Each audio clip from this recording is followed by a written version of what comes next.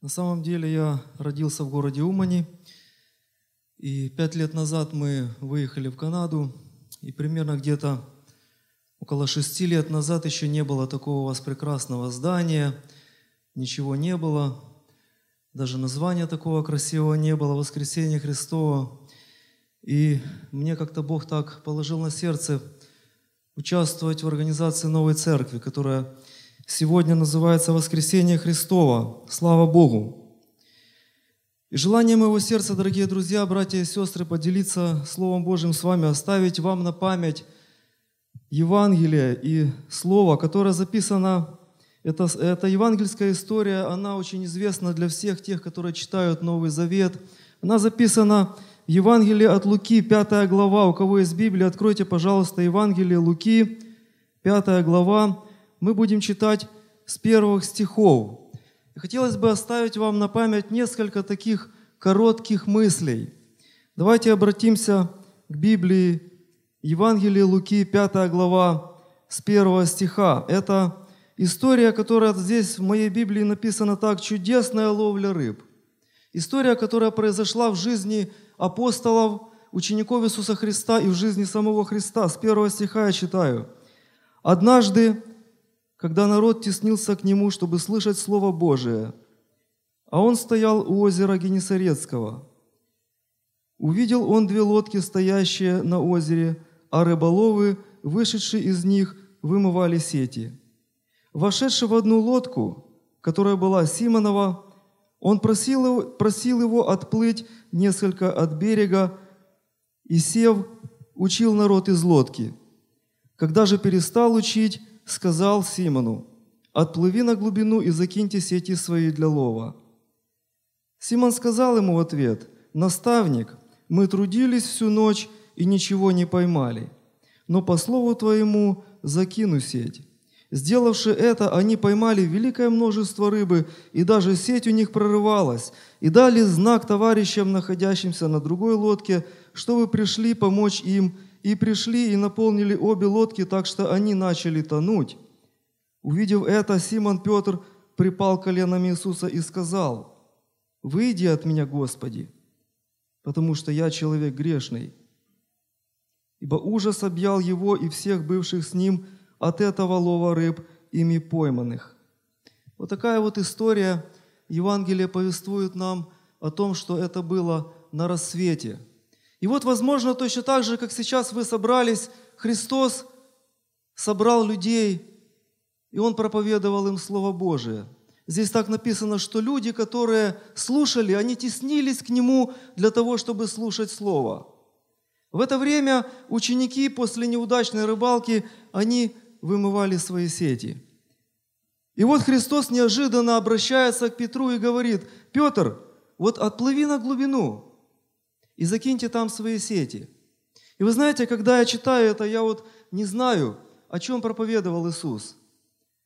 В других местах мы читаем о том, что когда Он говорил о том, что Он является светом миру, Он дал слепому человеку зрение.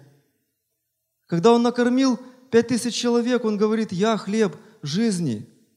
Возможно, и в этот раз Христос как-то практическим уроком желал подкрепить веру учеников, потому что после этого мы читаем о том, что Иисус говорит Петру, отныне будешь ловить людей. Мы не знаем, о чем была проповедь Иисуса в это утро. Но вот интересно, что Петр, опытный рыбак, и вот он после неудачной рыбалки всю ночь ловил рыбу, ничего не поймали, мыли сети пустые. И он говорит, учитель, я по слову твоему закину сеть. И посмотрите, дорогие друзья, братья и сестры, происходит такая чудесная перемена у Петра. Когда они сделали по слову Христа, они точно, вот сделали так, как он сказал, они отплыли на глубину, закинули сети, поймали много рыбы, и дальше написано, что от такого множества рыбы Петра объял ужас. И вот он говорит такие слова. «Выйди от меня, Господи, потому что я человек грешный». И вы знаете, задаю себе вопрос – а почему вот только сейчас, Петр, ты понял, что ты есть человек грешный? Неужели раньше, когда ты слушал проповедь Христа, ты не ощущал себя грешником? Народ теснился ко Христу слушать Слово Божие. Ученики вымывали сети. Возможно, Петр тоже слушал Евангелие. Но почему-то он не чувствовал себя грешником. Вы знаете, возможно, Петр даже прикасался ко Христу. Я думаю, ну как, почему не ощущал себя грешником? И здесь так написано, что когда он увидел исполнение Слова Божия в своей жизни, когда он поступил по Евангелию, вот тогда он говорит, «Выйди от меня, Господи, потому что я человек грешный». Дорогие братья и сестры, мы видим здесь, в этой истории, что вот эта вот лодка, уставшие рыбаки, сети, которые они мыли, оно вдруг для Петра стало местом присутствия Господа.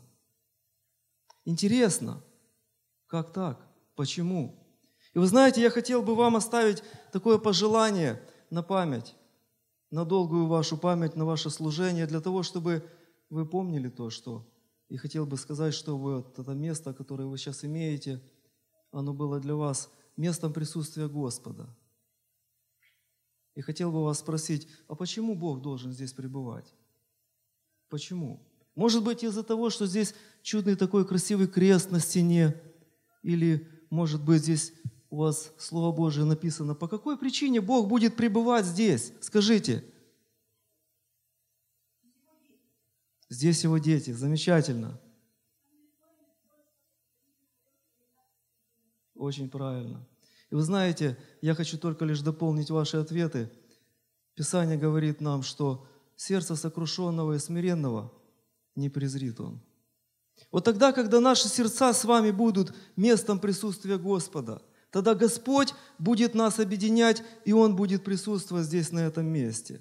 Он будет с нами. Пусть Бог благословит вас. Мы старая. Здесь мы видим то, что когда Христос проповедовал, ученики, они были заняты своим делом. Они вымывали сети. И вы знаете, я не знаю, почему так происходило в их жизни.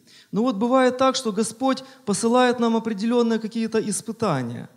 И вот, вот в этой истории, когда Петр поступил по слову Христа, мы здесь видим, что все его жизненные основания, они вдруг начали все, как говорится, трещать по швам.